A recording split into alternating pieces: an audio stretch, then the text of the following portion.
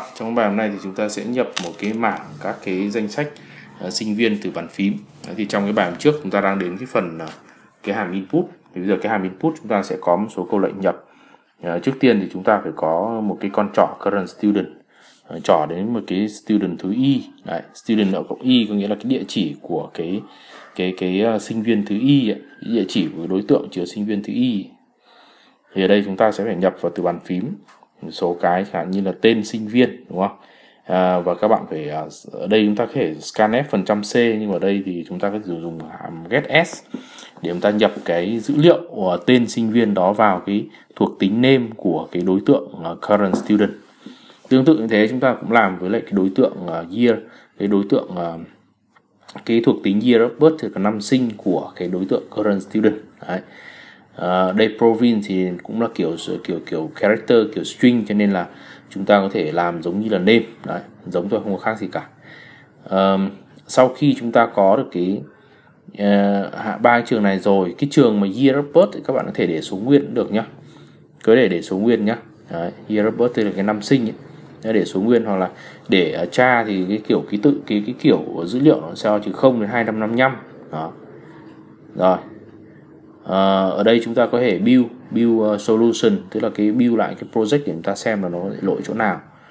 Đây nó đang báo chúng ta một số cái warning. Báo chúng ta một số cái warning thì chúng ta phải fix cái warning này. Đấy, thế thì ở đây chúng ta cần uh, chú ý là cái uh, uh, các cái hàm scanf ấy, thì cái, các cái trường mà chúng ta scanf uh, chúng ta truyền dữ liệu vào ấy, thì chúng ta phải để các cái trường đấy là dạng tham chiếu dạng con trỏ chứ không phải là dạng dữ liệu nữa. Đấy à, ở đây cái convert ở đây chúng ta cần phải à, sử dụng cái hàm gọi hàm scanf trừ s thì s là safe. Ở đây thì ở đây thì Microsoft hướng ờ, chúng ta tức là khuyến cáo chúng ta nên sử dụng cái hàm uh, gạch chéo s này gạch dưới s này. Tức là scanf uh, gạch dưới s đấy, safe đấy. thì uh, chúng ta có thể dùng thôi dùng cái hàm uh, safe cũng được. Scanf trừ gạch dưới s.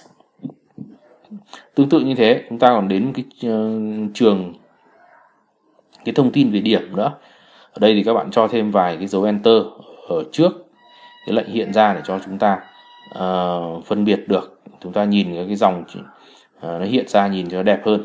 Đấy. bây giờ chúng ta đến phần là enter student mark tức là điền cái điểm của cái sinh viên đấy vào. Đấy. thì chúng ta điền cái điểm này bằng cách nào? Chúng ta sẽ uh, current student này sau đó chúng ta chấm mark này. Đấy. chúng ta truy cập đến một thuộc tính bất kỳ bên trong thì chúng ta sẽ dùng mũi tên. Nếu mà cái current student nó là con trỏ thì ta truy cập chúng ta dùng cái mũi tên còn nếu không chúng ta dùng dấu chấm. Đấy. ta cấp phát một cái vùng nhớ cho thằng uh, cho đối tượng mark của uh, đối tượng student. Mark là của student mà.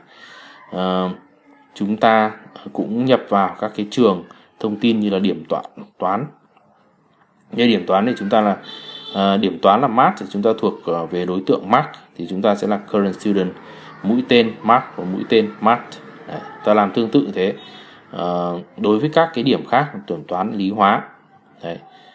À, thì nhắc lại các bạn là cái phần uh, student thì nó là một student một sinh viên thì chúng ta tương đương với một đối tượng điểm. Và đối tượng điểm này có ba thuộc tính là toán lý hóa.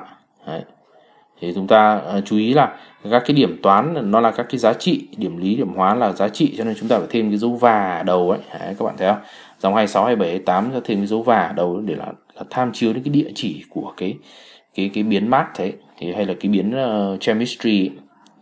giờ chúng ta viết một cái hàm để hiện thông tin ra Đấy. cái hiện thông tin của cái cái cái, cái danh sách các sinh viên ấy. thay vì chúng ta Ờ, đi đến đâu chúng ta hiện đấy chúng ta sẽ viết riêng cái hàm. Để lúc nào chúng ta cần hiện ra chúng ta chỉ gọi cái hàm này là xong. Cái hàm print result này ờ, chúng ta có một cái biến y. Biến y chúng ta cho chạy từ 0 ừ, cho đến uh, number of student trừ một đúng không? À, chúng ta lấy ra từng cái sinh viên một trong cái danh sách đấy. À, tham chiếu current student là là con trỏ trỏ đến từng cái sinh viên một bên trong cái danh sách đấy, đấy thế thì à, chúng ta in ra màn hình. Một cái danh sách như này thế thì để mà in ra thông tin ấy, thì ở đây chúng ta là uh, chú ý các bạn để thêm các cái phần trăm uh, ví dụ như phần trăm 15C uh, ờ, tức là cái, cái, cái đoạn ký tự đấy là chúng ta để dành cho 15 chỗ trống để chúng ta điền uh, thông tin của tên sinh viên vào. Đấy. tương tự như vậy 5.2 của số thực tức là hai số sau dấu phẩy và 5 là toàn bộ cái cái cái khoảng trống dành cho cái số thực đó. Đấy. Đấy thì chúng ta sẽ tương ứng các trường ở đây thôi. Ờ, các bạn thấy current student uh, mũi tên name uh, current student mũi tên province vân vân. Và chúng ta sẽ nếu mà đối với trường mark thì chúng ta phải mũi tên đến mark, sau đó mũi tên đến math mũi tên đến mark, sau đó mũi tên đến chemistry đấy, vân vân. Uh, year of birth là một số nguyên rồi ok. Thì cái kia ở trên nó sẽ phải là phần trăm d phần trăm 10 d đấy. thế current student ở đây chúng ta là mũi tên mark sau đó mũi tên math đấy, mũi tên đến cái điểm toán uh, current student mũi tên đến cái điểm uh, lý và uh, đến mark và mũi tên đến điểm lý tương tự như vậy cái điểm hóa cũng như vậy. Uh, current student uh, mũi tên mark đến điểm uh, uh, chemistry. Đấy, ok. Vậy chúng ta nhập vào thông tin. Uh, dùng có tên tuổi tên uh, năm sinh và cái uh, the province tỉnh tỉnh thành của cái nhân viên đấy của cái sinh viên đấy. Ok đấy. thì bây giờ chúng ta sẽ có thể là là ờ, chạy thử chương trình và chúng ta phải gọi cái cái hàm print result này bên trong cái hàm input ấy, để sau khi chúng ta nhập thông tin xong mà chúng ta có thể nhìn thấy cái cái cái uh, nội dung mà chúng ta nhập vào là cái gì. Đó. Đây các bạn chú ý ép kiểu nhá. Là ép kiểu cái ờ, uh, malloc xong chúng ta ép kiểu. Ừ. malloc xong chúng ta ép kiểu. Ép kiểu cái này về kiểu mark tức là kiểu uh, điểm đúng không? Mark chính là một cái struct mark gồm có 3 phần tử là điểm toán lý và hóa. Những chỗ nào mà scan uh, uh, f uh, trừ s thì các bạn chú ý là cái tham chiếu là tham chiếu đến cái biến cái cái uh, địa chỉ của cái biến đấy nhé không phải là tham chiếu đến cái giá trị. Chúng ta lại gọi cái hàm print result ở đây và chúng ta truyền vào hai tham số là danh sách sinh viên và số tổng số sinh viên. Student này là chọn phần từ đầu tiên trong danh sách và cũng là uh, đại diện cho cái danh sách đấy rồi chúng ta tắt đi và chúng ta chạy. Chúng ta chạy chương trình. À, các bạn có thể chặn. Rồi ok enter your choice. Bạn ờ, nhập cái lựa chọn của mình vào đây.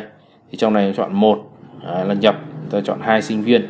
Nhập vào sinh viên thứ nhất tên là AA tỉnh Hà Nội năm sinh 2001 vân vân. Điểm. Đấy. tương tự như vậy điểm chắc rồi thì gì đó.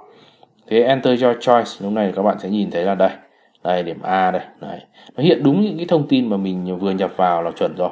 Thế còn những cái này nó lệch lệch thì chúng ta thể cho thêm vài cái cái dấu cách vào đấy, đấy chúng ta thêm phần trăm 15C chúng ta cho thành 16 17 đấy thì chúng ta chỉ chỉnh cái chỗ đấy.